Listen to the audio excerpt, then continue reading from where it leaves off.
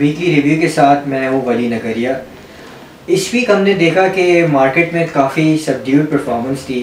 Market uh, जो है के सी हंड्रेड वो क्लोज़ हुई seventy eight thousand four hundred and forty four points पर और मार्केट ने जो है about three hundred and sixty five points जो है शेड किए इस वीक uh, इसके कुछ रीजंस थे। पहला रीज़न ये था कि जी रोल ओवर वीक था और जैसे कि हम देखते हैं कि रोल ओवर वीक्स में जनरली जो है वॉल्यूम्स और एक्टिविटी थोड़ी सी सबड्यूड होती है। दूसरा रीज़न ये था कि जी last physical week of the year था। uh, और इसकी वजह से थोड़ी सी अनसर्टिनटी क्रिएट हो रही है मार्केट के अंदर। इन्वेस्टर साइडलाइन है।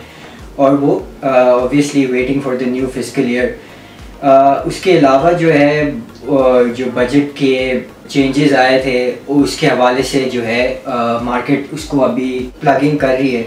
और उसकी वजह से जो है थोड़ी सी अनसर्टिनटी क्रिएट हुई थी मार्केट के अंदर। uh, कुछ हमने देखा कि स्टॉक्स ने जनरली अच्छा परफॉर्म किया, जैसे ओ जी डी सी है।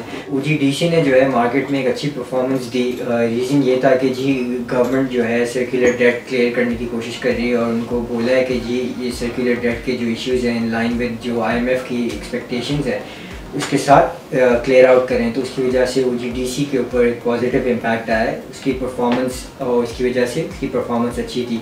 उसके अलावा फैसल बैंक ने भी अच्छा परफॉर्म किया है। उसकी ऑफकोर्स एक्विजिशन की बातें चल रही हैं, जिसकी वजह से उसके ऊपर भी एक जो है, हमने पॉजिटिव इम्पैक्ट देखा है।